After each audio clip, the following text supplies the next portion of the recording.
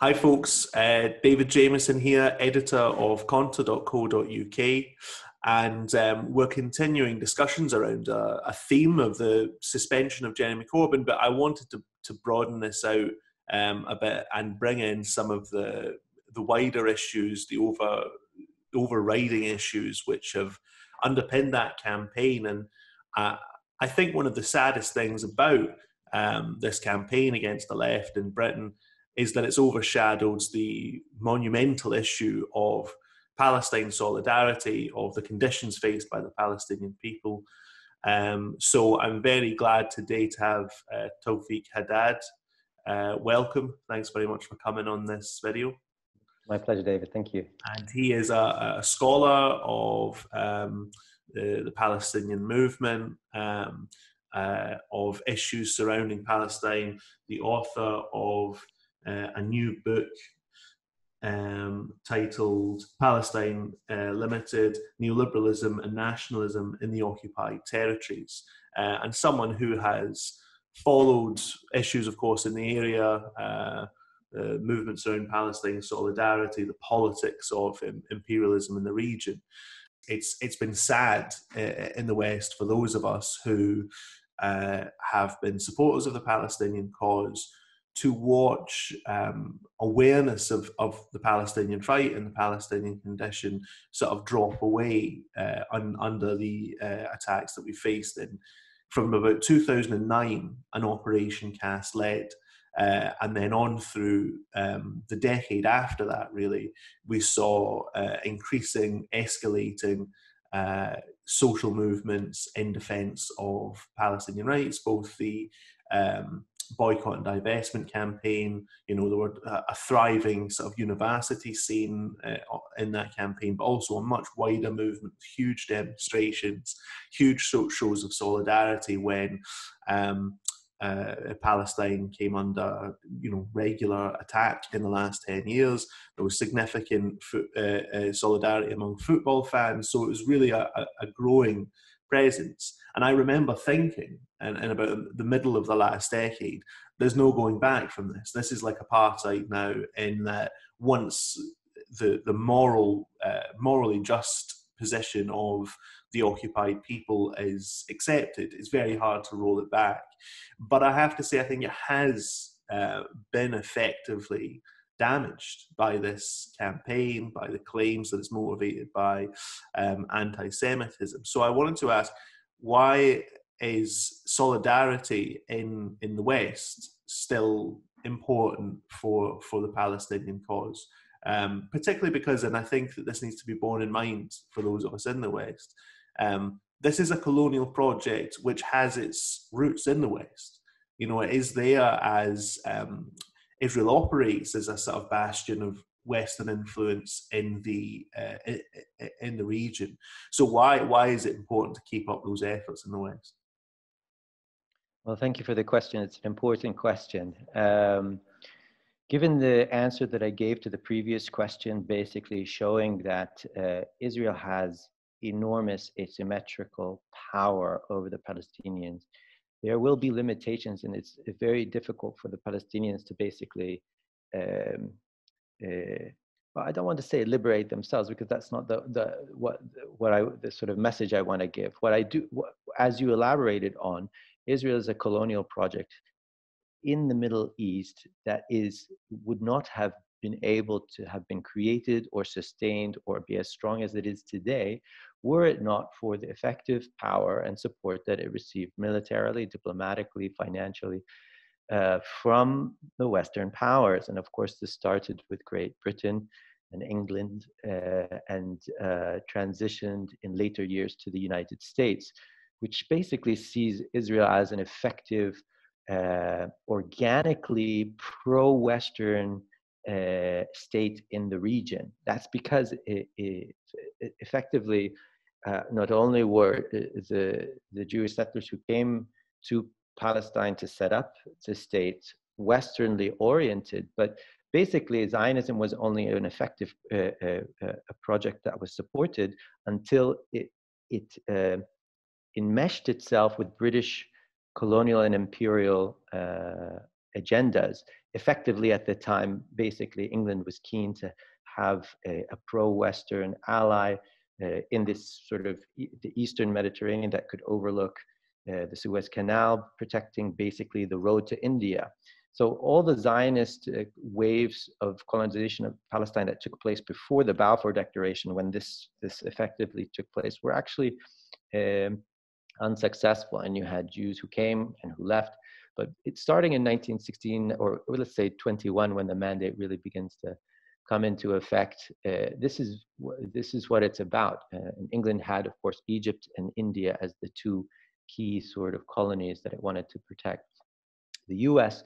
later takes on after 1967 this role because effectively by that point in the uh, decolon uh, post World War II, you had a, a pan-Arab nationalist movement. You have three to 400 million Arabs in the region of North Africa to, or Arabic speaking countries, shall we say, not just Arabs, from North Africa to the Middle East, uh, who had effective uh, links of different kinds of history and language and religion and commonalities that effectively made them a, a potential competitor to Europe. And historically, you also have this issue of uh, this region being the shortest uh, uh, uh, trade route to, to the east in addition to the fact that there are four key choke points in this region uh, that uh, so you have the Straits of Gibraltar, you have the Suez Canal, you have Bab el-Mandeb, and you have the Straits of Hormuz. So the Levant region, which played in a, a sort of a, a, very important sort of political leadership role, let's say, of the Arab cause, was very important to have a foothold in. And uh, the Zionists understood this and understood that they needed to uh, the, the, Israel always lacked a mother country like like the way the, the French were in Algeria, so to speak. So they needed to sell their services to the effective imperial power at the time. And that's what they did. And today they're doing it with the Americans, before it was England, and tomorrow they, they might even try and do it with the Chinese. Uh, so uh, and let's not also forget today the Eastern Mediterranean has significant uh, gas reserves that Europe wants to use to be able to diversify its gas intake you know, and making it less dependent upon the Russians and Ukrainians and stuff, or Russian controlled Ukraine. So in any sense, uh, the, the geostrategic significance of this area and what Israel does for the West in this region is, is well known and can be established. And for that reason, uh, uh, this is a, this is effectively the big chessboard upon which this this conflict takes place. We see on a daily basis the Israelis and Palestinians, you know, whatever involved in their their the, the, you know uh, conflict between quotation marks. But effectively, this is a much larger thing that's taking place. Uh, and so, uh, basically, the people, folks in the West, are uh, uniquely positioned, even if they do not realize this, in in being able to uh, uh, to change this. That particularly because in most cases they they exist in, in democracies, even though they may be eroding at this stage. And the point is, uh, the basic argument that we need to be making is that our our U.S. tax dollars or British pounds best spent on uh, supporting 50 years of military occupation in Palestine or the apartheid regime of Israel, which tries to constitutionalize Jewish supremacy uh, and is trying to effectively ethnically cleanse the rest of Palestine from its quote non-Jewish inhabitants, the Palestinians? Or are, are these resources best spent on schools, on coronavirus, on infrastructure, on all the be- social needs that pe- folks need there? And, and, that fundamental contradiction needs to be pushed um, because that's really where it's from.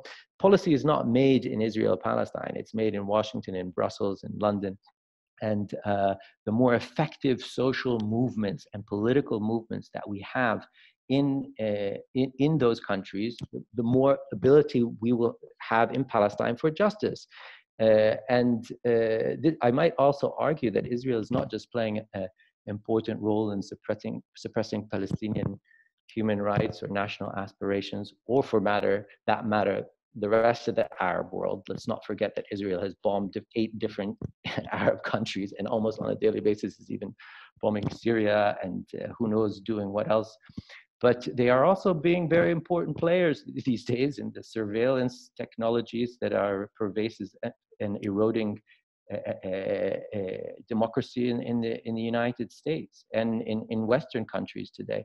So there are important parallels that also should be uh, drawn because it's uh, because it's not just we, we don't want sympathy we want solidarity uh, because uh, these are principles this is what's an injury to one is an injury to all and uh, history has shown that if you don't stand up for things like the Palestinian cause or certain principles, then they will come back to haunt you. And that's actually what's happening right now. We see it very clearly in the Trump campaigns now, and certainly Boris Johnson as well. I think that the way that you've um, portrayed that relationship is really important for you know socialists and, and Palestine solidarity activists in the West to bear in mind, because when you have um, conservative politicians, say in Britain, accusing Jeremy Corbyn or the left of, of anti-Semitism, they're not um, they're not protecting um, Israel out of a sense of moral obligation or out of a sense of solidarity or because they think that what Israel is doing is right. They're not doing something charitable. They're defending their own interests. You know, what the way the Israel Israeli state operates um, it's it's colonial policies internally, it's foreign policy, as you say, in terms of the wider Arab world. Um, the way it operates is in the interests of the British state and the US state, you know, the establishments of these countries, the foreign policy establishments. They are not defending Israel because they just think it's a nice idea. It, they they have an investment in this working out, and they have an investment in their own populations supporting that project and uh, in their own populations thinking that any objection to this is uh, anti Semitism.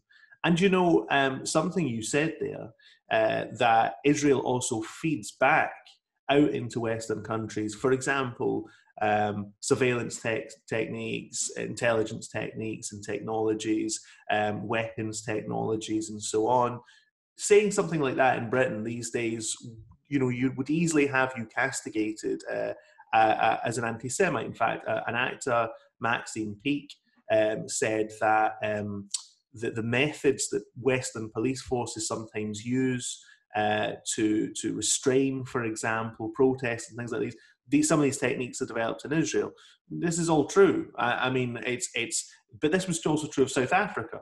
The the kind of um, given that it's a martial outpost, given that it's a place where um, you know the, the West also uses these places as laboratories to develop military techniques and securitization techniques and, and, and things like that, and then re-export them back, back out into the world. It's just a provable fact. But even saying that now sees people in, in Western countries accused of anti Semitism, which I think is very dangerous because it obviously undermines the real phenomena of anti Semitism if you're simply leaving everything as anti Semitism. But in any case, um, you know, th- this is how colonial states act. This is their wider geostrategic uh, and, and, and social role. And it was just the same with uh, uh, South Africa. So I think you situated that the nature of these things very uh, uh, correctly. Um, let me just ask about your um, perceptions of that um, campaign uh, in the West. I mean, there has presumably, I mean, the the claim that uh, solidarity with the Palestinian people, the criticism of Israel, the claim that this represents anti-Semitic racism has presumably been quite a long-standing claim within the the kind of broader Zionist movement itself and within the kind of official Israeli politics and, and, and so on. I mean, I've always been aware of it so long as I've been involved in the Palestine solidarity movement. Um, but it's never gained this kind of mainstream traction in the Western media and Western politics and so on before. What's the kind of what's the what's the history of that of of that claim? Um, I mean, have Palestinians always been told that they are anti-Semites for resisting oppression? Sure, sure. Uh, certainly, there are long-standing. Uh, uh, the accusation is long-standing. However, it's actually more complicated than that because Israel's relationship with the Holocaust was uh, something that uh, they were not willing to talk about so much in the early days of the state. And in, in fact, uh, there's there's excellent uh, histories of this. I recommend Tom Segev's book, The Seventh Million, about how the Israeli state uh, and, uh, and Zionists sort of castigated Holocaust survivors. And even today, if you actually look today, Holocaust survivors are not actually, uh, I mean, they still receive forms of compensation, but there, there's, there's high rates of poverty amongst them. Um, but I, I, don't want to get too much into that. Uh, but, but your question was addressing uh, certainly, uh, you know, there has been a long-standing accusations by Israel. It is proven relatively effective to attempt to simply say that uh, the claim for Palestinian rights by Palestinians, Arabs, or anybody else is is simply the, uh, a form of uh, continuation of an, anti-Semitic behavior, which uh, recollects all the things that uh, both previous and during World War II.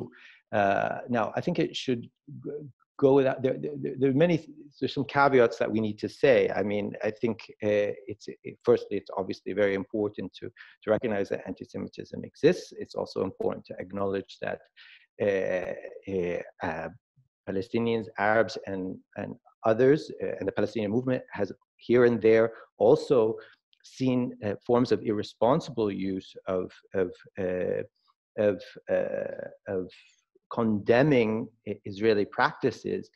Uh, but I would also argue here that there has been uh, uh, Israel itself has has attempted to conflate uh, Israel with Jews, and in fact, certainly locally in Palestine, you have everything done there. Is I mean, identity cards are actually determined by are you Jewish or non-Jewish or, or Muslim. So, so when Palestinians oppose Israel, they and, and maybe here and there might use the term Jews, they, they, they, they, they see themselves as effectively resisting their uh, oppressor, calling him by the name by which he calls himself, uh, and, and in whose name the oppression is done and whose cause it is done in.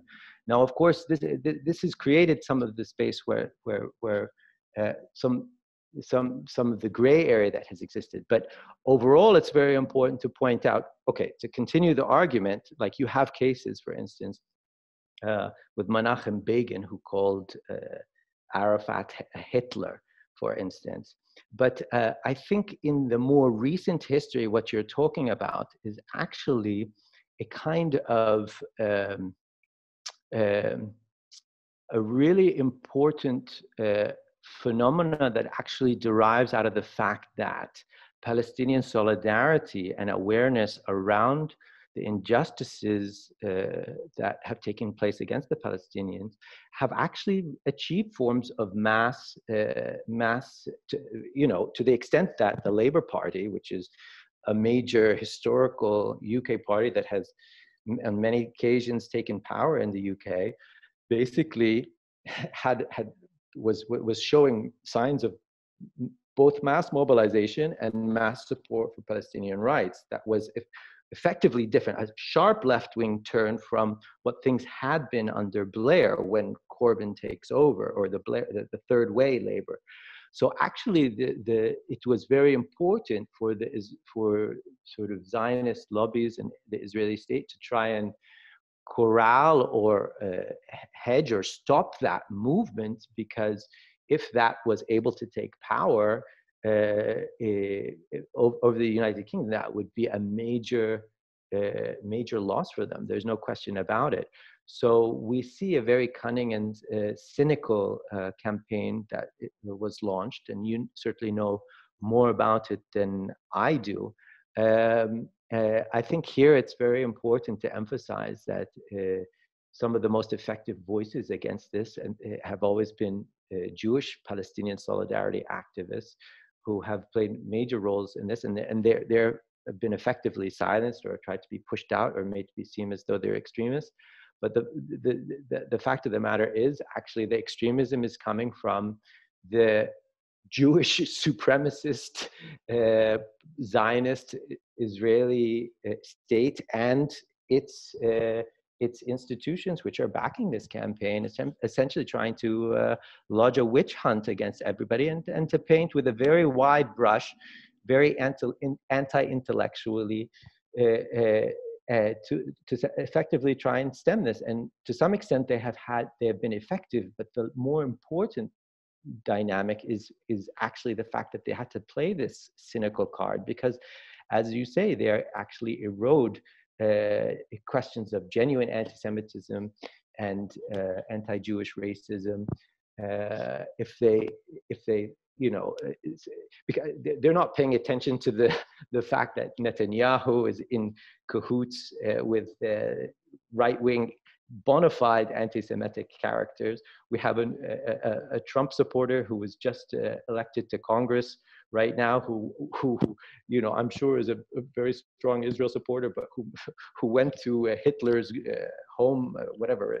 You know, the fact of the matter is this the right wing populism and right wing trends that we see across the globe today are, are in bed with uh, Israel and the Zionist movement. And, uh, and uh, so it's true that we live in a very dire moment in history when this is done.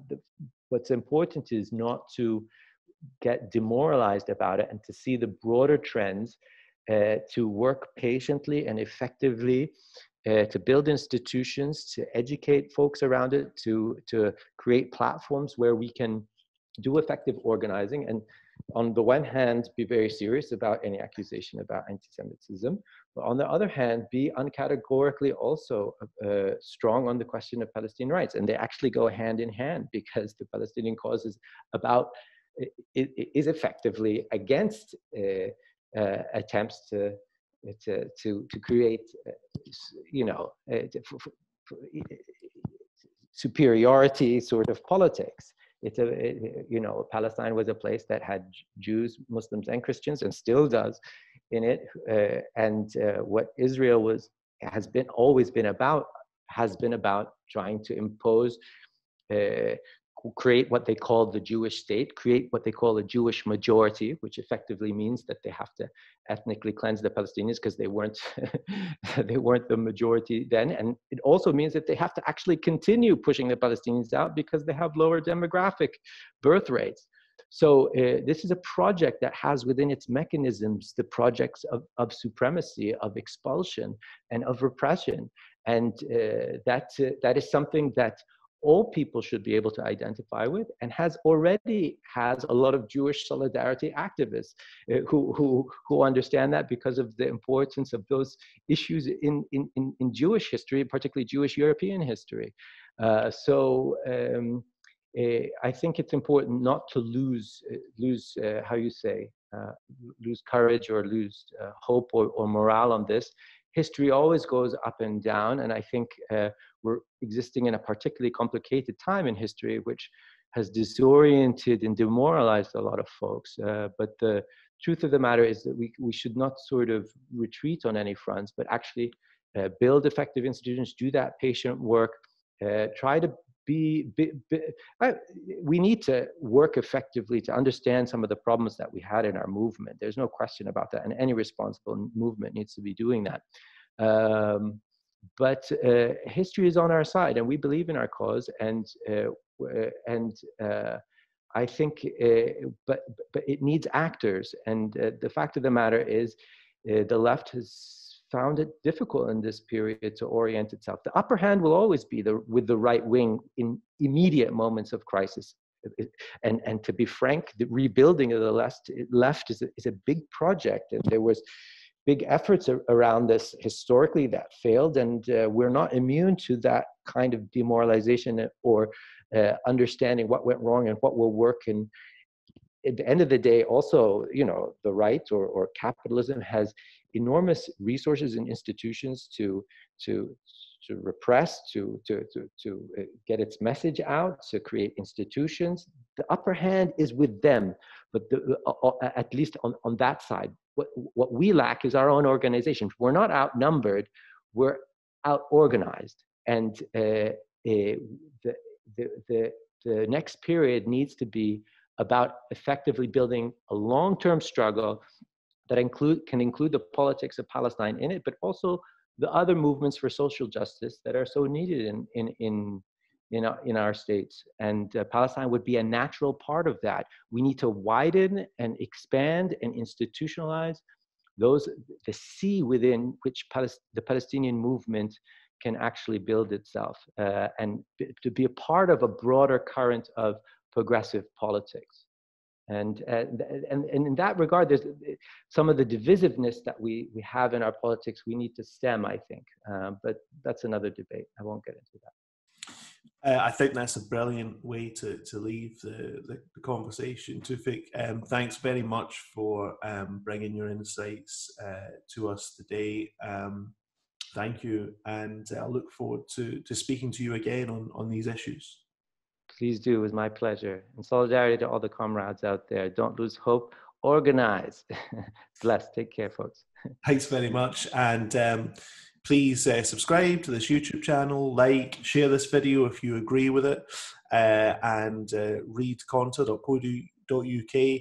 And uh, I look forward to speaking to you all again uh, on this matter and many other matters in the, in the coming days, of course, including the US elections. I look forward to speaking to you all soon. Thank you. Take care. All the best.